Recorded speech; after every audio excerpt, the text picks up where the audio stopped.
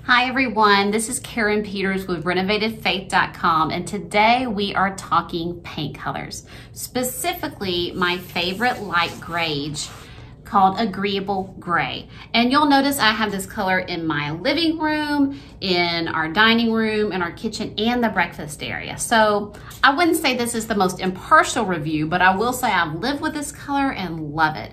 I love the fact that it is so balanced. It has the uh, the pretty farmhouse look of the gray, but it also has a lot of warmth. It's really, it's hard to tell here, but its undertones are really balanced. So uh, it balances cool and warm really well so that it goes with all kinds of color schemes. Um, one of the things that you want to take into consideration uh, when picking a paint color is the light reflective value, the LRV. The LRV for agreeable gray is 60. And light reflect reflective value is simply how much uh, light the paint color reflects. So in other words, the light, the LRV of 100, that is pure white. The LRV of zero is black. So 60, it's a little higher than the midpoint. Um, one thing it, the LRV is really helpful because when you're looking at 12, 15 different paint samples, it's nice to have some value to help guide you to know, okay, this one's darker than this one. That's gonna make my room too dark. Okay, I'm going to uh, not worry about these. So it is helpful as a guide. Like I said, the LRV of Agreeable Gray is 60, which makes it light.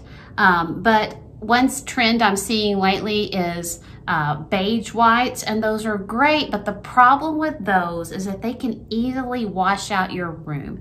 If your white wall color gets to the point where it's almost the color of your white trim that's too light. If you can't see a difference there, that's gonna make your room look washed out. And some of those beautiful white walls you see like on Instagram, those are really light grays in a lot of cases and they've just been, they have a filter on them or the contrast has been bumped up. So be careful about the light, uh, the white beiges or the really light grays because they will wash out your room real fast.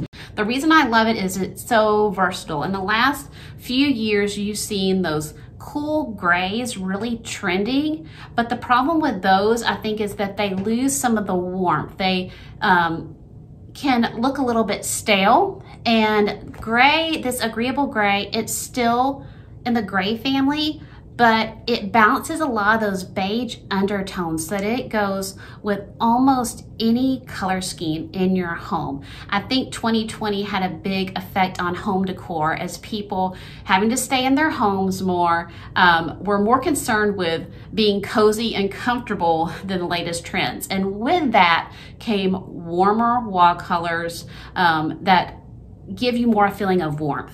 And so I think that's why Agreeable Gray is going to be trending for a while. It's here to stick around because it offers the grays that um, of farmhouse decor and also coastal or traditional decor, whatever works for you, but also it gives you a certain warmth that a lot of the more, the bluer, cooler grays don't have.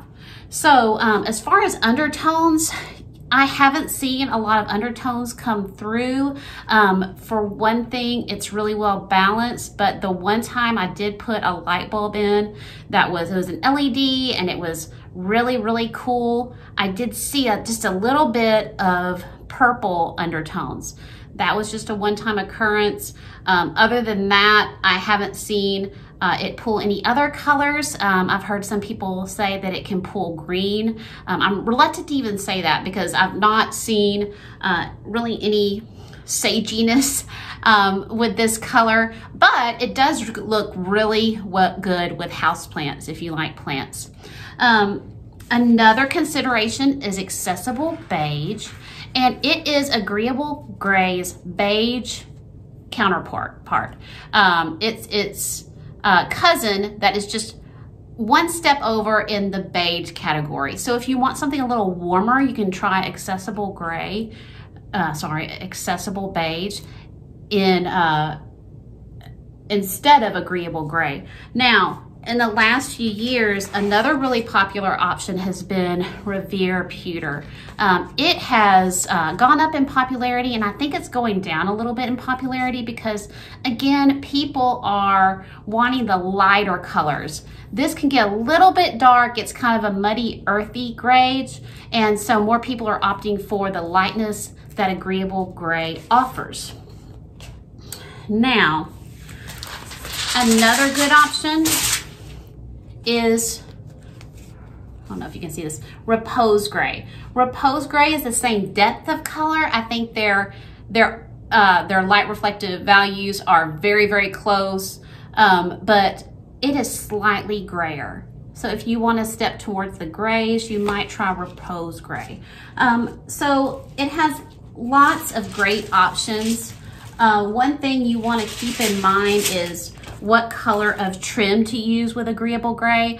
I wouldn't use just a really, really uh, creamy white. I think Alabaster is probably as creamy as I would go, and that's the color I'm going to be painting my kitchen cabinets. Um, and then if you want a cooler white to make it really pop against Agreeable Gray, I would go with um, extra white, but I really like the way pure white, which is this china cabinet is pure white, how it pops against agreeable gray. And it's just a good go-to white. So uh, there's several colors that go with agreeable gray. If you need a sagey green that's not too deep, sea salt is a good option. Uh, you can also try, um, if you need a much darker color, Anew Gray is good, but uh, as far as a coordinating color, it's the next step darker on the color strip. Don't go there, go another step because you want it to be obvious that you're trying to coordinate colors. You want to look deliberate. So the next step after Anew Gray is um, Mega Greige. And so that's a good contrasting, coordinating color if you want to do, say, a darker accent wall.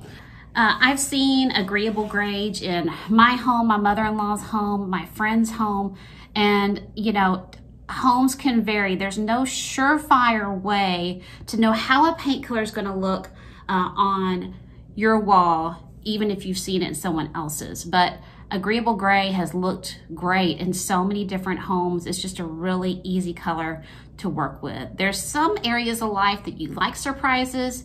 Paint colors isn't that is not one area. You want a lot of predictability when it comes to paint colors, especially when you're putting it on multiple walls in your home.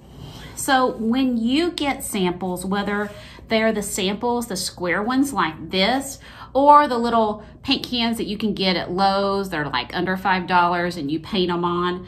Um, what you wanna do is get a piece of poster board and then put uh, either paint on the sample or put this sample on the poster board and then attach that to your wall with like command strips or however that won't damage the finish. I guess it doesn't matter since you're gonna paint it anyway.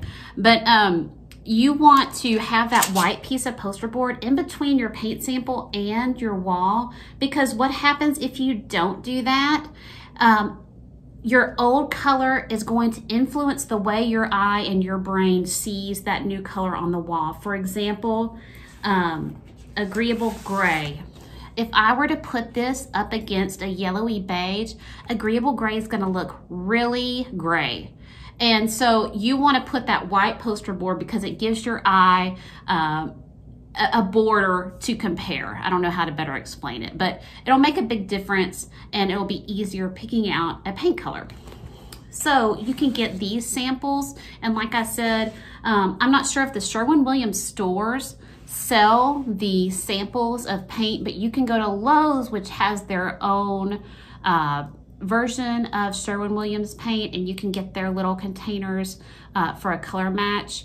Um, they ha That's good paint. I want to say that the Sherwin-Williams paint in the stores is of, of higher quality, um, but it just depends on what you can afford.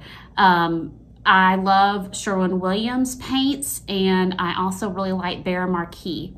So no matter what color you pick, make sure you pick a good paint. I'm saying that because I've learned it the hard way.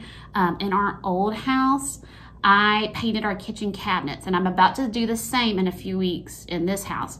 But I painted the kitchen cabinets. We were poor.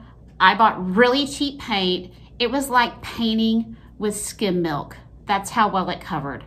I did 10 coats, I kid you not, 10 coats on those cabinets. And it was a small house, but it was a big kitchen. Those were a lot of cabinets. So you will save money in the long run buying a better quality paint. Um, don't get a cheap paint uh, just at the start of your project. You're gonna you're you're going to eat up your budget in buying multiple cans of paint. So um, I would love for you to check out the blog post where I have lots and lots of pictures of real life homes of people that are living with agreeable gray. And so you can see bathrooms, living rooms, cabinetry. I never would have guessed it, but agreeable gray is gorgeous on cabinets. I, I never would have thought, but um, there's some bathroom cabinetry that you've got to see. Um, so be sure to check out the blog post at renovatedfaith.com. And you can also download a free printable of how to prep your walls for painting to get the best results possible. Thanks. And again, check out the blog, blog post at renovatedfaith.com.